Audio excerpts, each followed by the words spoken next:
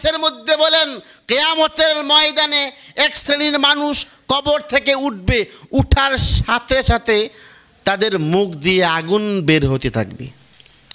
সাহাবাই কেরম জিজ্ঞাসা করলেন, ইয়া রাসূলুল্লাহ, তারা কারা?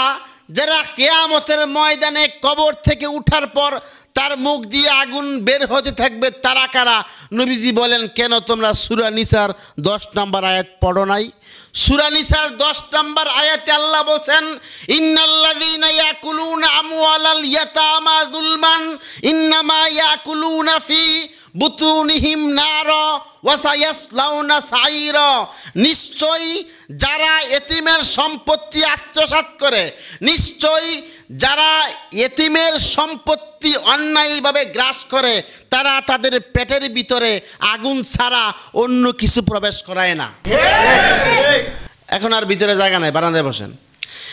নিশ্চয়ই যারা এতিমের সম্পত্তি আত্মসাৎ করে, যেই সাসা এতিম বাতিদার সম্পত্তি আত্মসাৎ করে সুরানিসার দশ নম্বর আয়াতে বলে, দশ ডিসিম জায়গা আত্মসাৎ করে নাই, সে তার পেটের ভিতরে আগুন প্রবেশ করাইছে। কি বুঝলেন? ওয়াসায়াসলাউনা সাইরা ও চিরে অনতি বিলম্বে জাহান্নামের জ্বলন্ত আগুনে সে প্রবেশ করবে।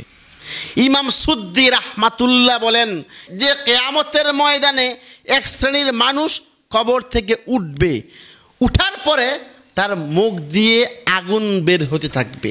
তার নাক দিয়ে আগুন বের হতে থাকবে। তার চোখ দিয়ে আগুন বের হতে থাকবে। তার কান দিয়ে আগুন বের হতে থাকবে।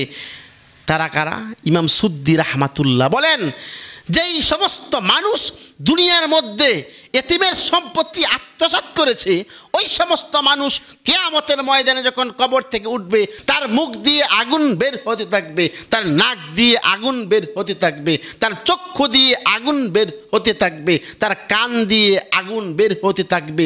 দুনিয়ার মানুষ দেখেই বুঝতে পারবে, এই লোকটি পৃথিবীতে এতিমের সম্পত্তি আত্মসাৎ করেছে।